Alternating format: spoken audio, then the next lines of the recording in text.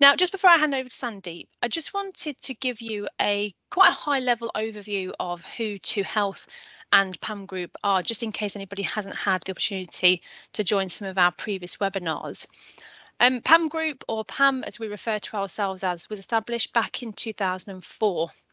And since then, We've predominantly provided occupational health and wellbeing support to one of the UK's largest supermarket giants, who pleasingly we're still working with 18 years on. But since the formation of PAM OH Solutions, so PAM Occupational Health Solutions, PAM has grown year on year with organic growth of about 30%. And as you can see here, it's truly expanded its service line to really support the complete health and wellbeing of workforces and their employees through the four different areas.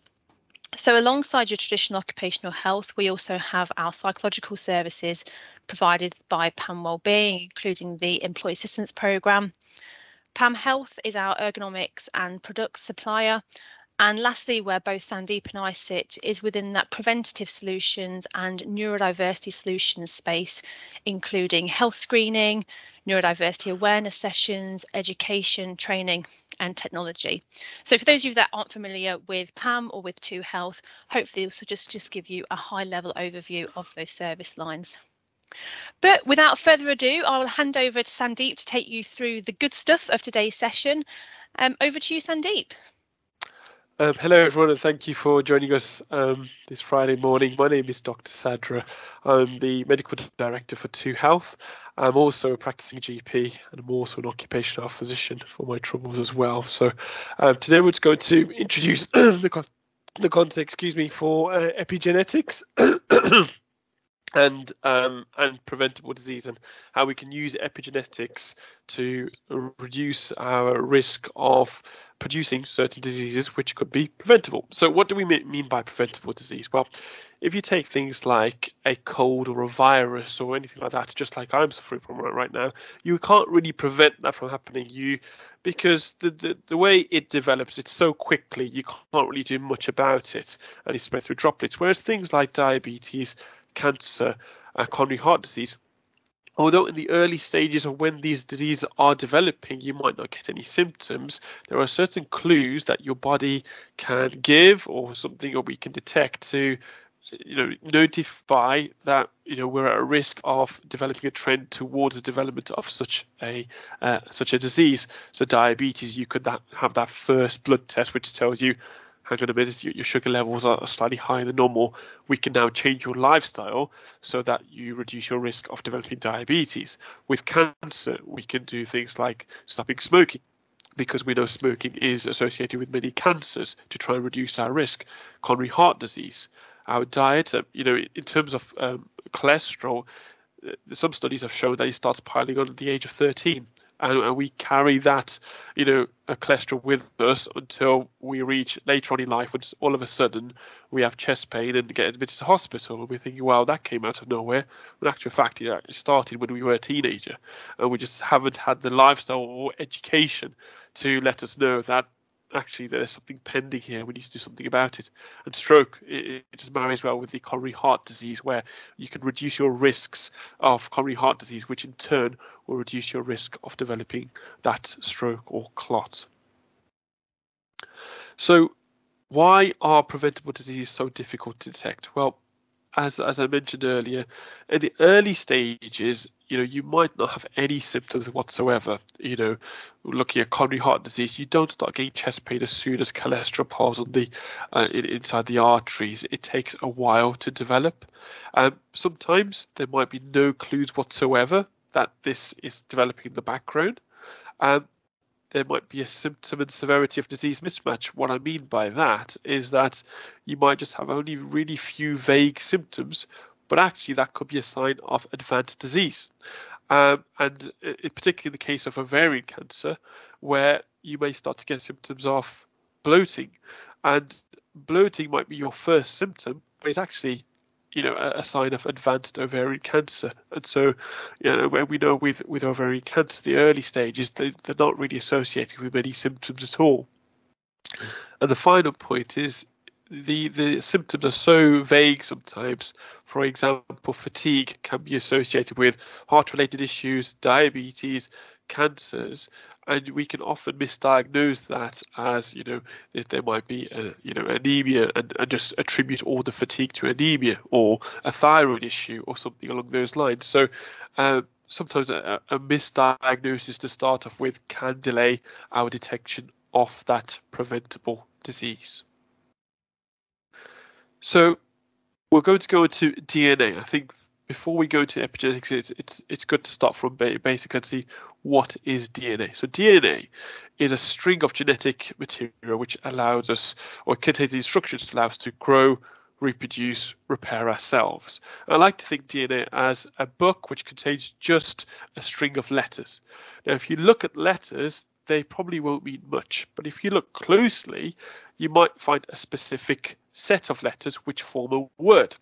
And that word has a particular meaning or an instruction, and that's what a gene is. It's a set of your or sequence of your DNA which has a specific function. And these you know, genes can produce proteins which can give us, you know, ability to, to function in many ways. It can produce enzymes. It, it, they're required to basically keep us alive and, and growing in the right direction.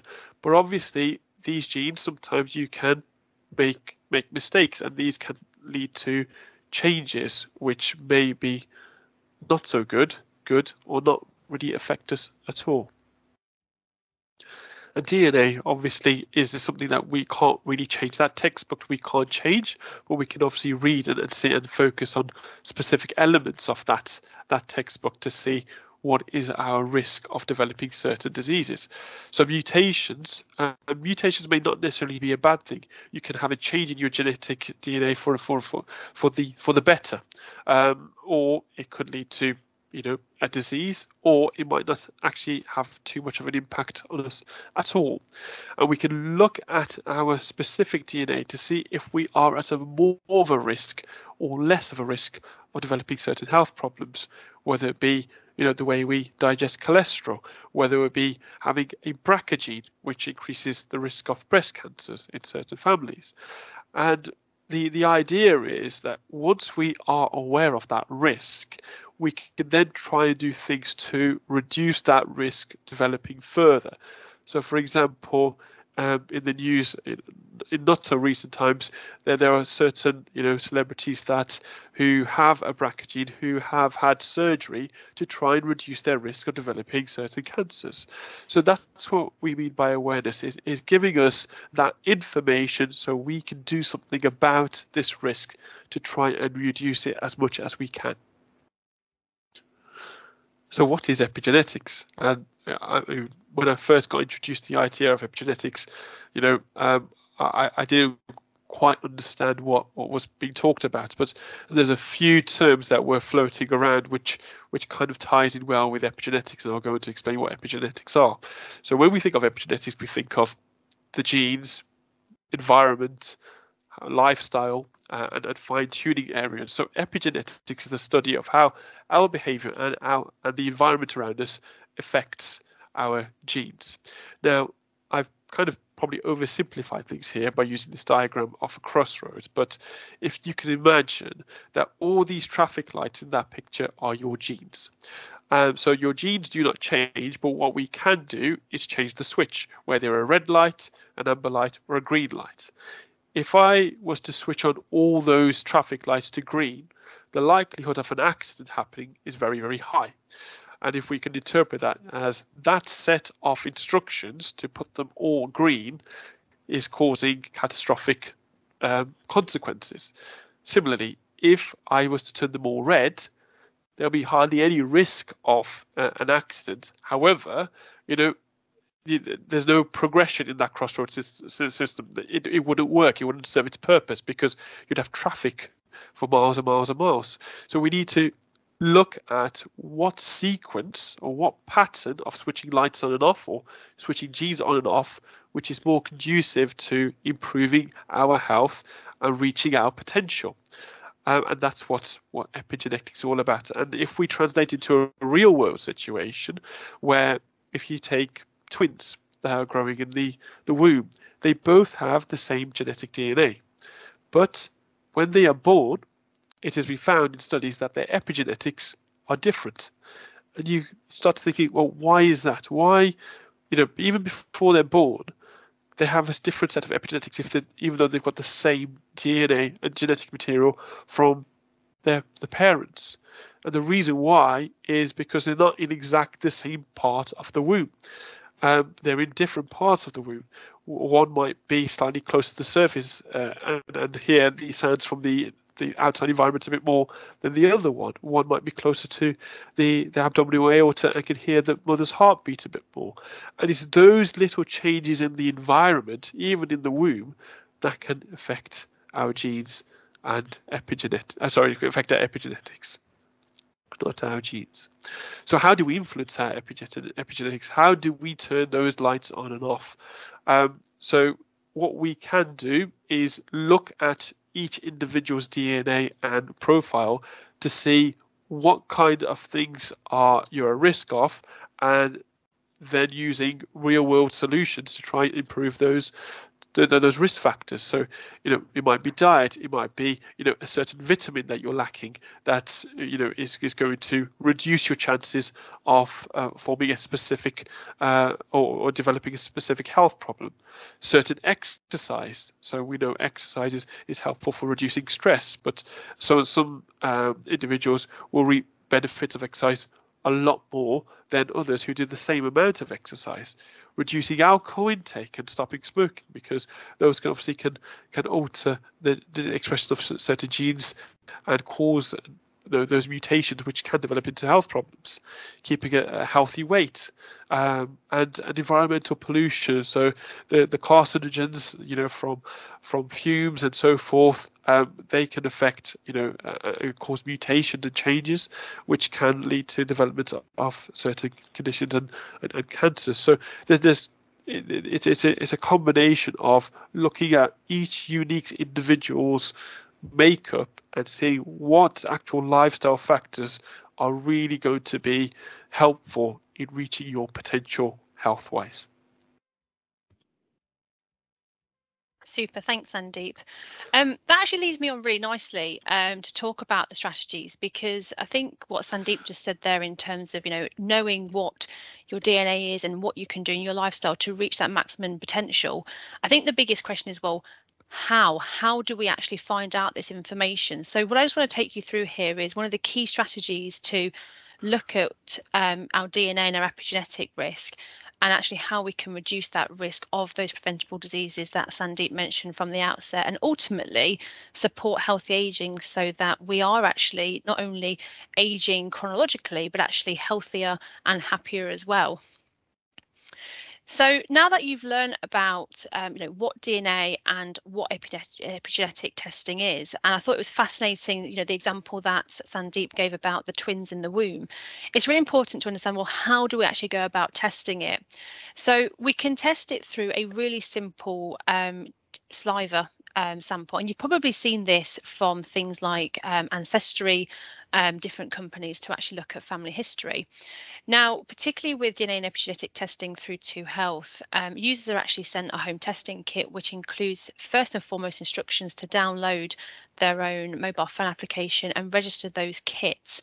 And then it really is as simple as taking a saliva sample into a tube, sending it back to our laboratories, um, and actually a specialist um, laboratory over in Denmark for genomics, and then waiting between about, it's normally about four to eight weeks for both a DNA and an epigenetic test. So whilst the information is invaluable. It can take a little bit of time depending upon the level and the packages that are chosen.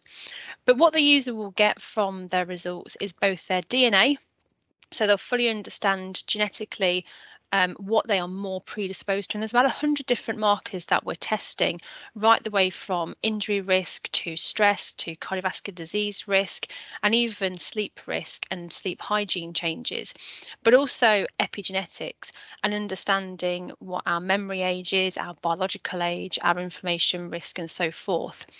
And with that comes a whole host of personalised and tailored information. So specific health and diet reports and recipes tailored to your genetic makeup. There are vitamin and supplement recommendations. As Sandeep mentioned, um, one of the ways in which we can prevent disease is physical activity and exercise. So there's, you know, the individual also gains that hyper personalized workout and training specific to their individual genetic makeup. So it is a really simple test to get some really vast information. And the reason this is so interesting is because the decision problem that epigenetics address lies within what leads a person to be absent from work um, and or having to make a claim through their private medical insurance. And particularly these include stress, depression and anxiety, as you can see there, are about 30% of absenteeism in the workplace is caused by stress, anxiety, depression. And of that, um, 92% might have weight issues, are inactive, or have a poor diet. So again, it links back to that final slide that Sandeep took us through. But also ailments and non-critical illness, and also avoidable physical injuries or disease, as we've heard earlier today. And it's really interesting when looking at um, actually some of the wider PAM Group's research in our latest Health at Work report that as we've really shifted out of this pandemic, we're seeing more and more of a focus on the need for physical health and physical interventions to reduce these disease risks.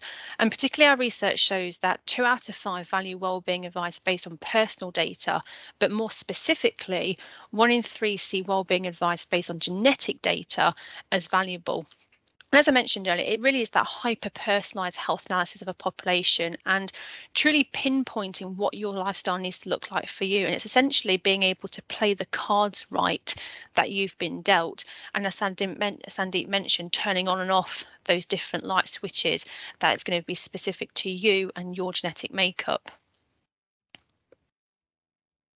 So just to conclude before we open up for any questions, um, particularly when we're looking at supporting that risk of preventable disease, there are many genes um, that we can analyse that are known to be linked, particularly with longevity. So going back to that healthy aging, um, I'm certainly not going to try and say those examples on a Friday morning, but the mechanisms behind longevity are complex and entwined, and not only genetic plays a role, but also epigenetics. So as we mentioned earlier, how lifestyle and how environment can influence that gene expression.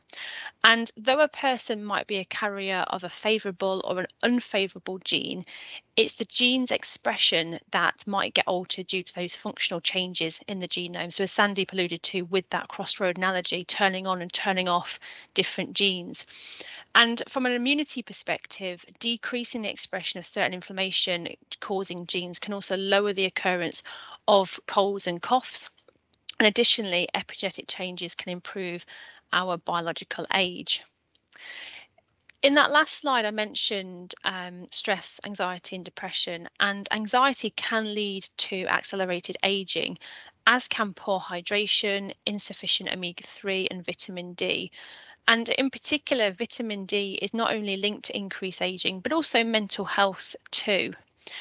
But how do you know if you're susceptible to these health concerns without the correct testing? And that's where these saliva DNA and epigenetic tests come into play. And looking at the data that we've seen so far, we've identified um, from some organisations that 42.3% of their workforce have insufficient levels of vitamin D, and 12.4% are considered to be um, clinically deficient and will actually have a higher risk um, genetically of being deficient with with vitamin D. So it really is that early intervention and that prevention rather than cure that we're looking at here.